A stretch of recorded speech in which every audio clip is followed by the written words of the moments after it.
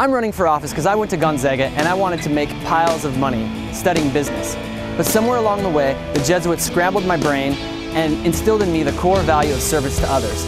It's a core value that's front and center in everything I do. I believe we need people to step up and serve their community, and that public service is a high honor and privilege. The bus taught me that you don't have to wait your turn just because you're young. You have the energy, the passion, and the enthusiasm, and the experience that you should go all in, and that's exactly what I'm doing. I'm running because I love Spokane. I love the Spokane River, I love Riverfront Park, I love the nostalgia for Expo 74 and Vision Quest, and of course I love my Zags. In fact, I think I'm the only candidate in the race that knows the 80s theme song to Spokane. Spokane, you'll love it here. You get the drift. I'll ensure our community's core values are represented in Olympia. Help for small business, family wage jobs, great neighborhood schools, and support for our families. How will I do that? Well, I learned from two great leaders, Senator Lisa Brown and Senator Maria Cantwell.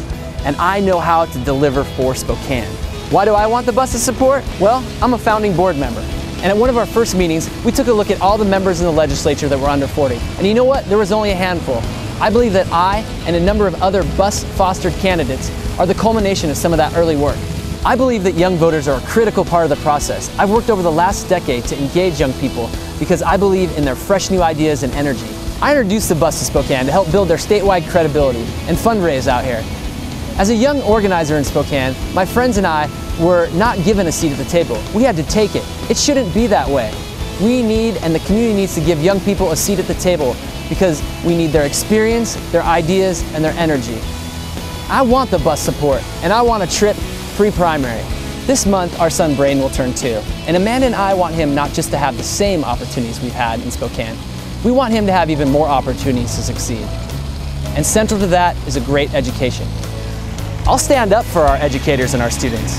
We must fully fund K-12 education. And I'll work to ensure that we have expanded higher education opportunities. We support our community colleges and our career and technical schools. And I'll fight the rising cost of tuition. Why should young people support me? Because I'll have their back in Olympia and their front. I'm Marcus Riccelli, and I'm running for state representative in the 3rd District. And I'm going to win because I've got the people behind me and the garbage eating goat.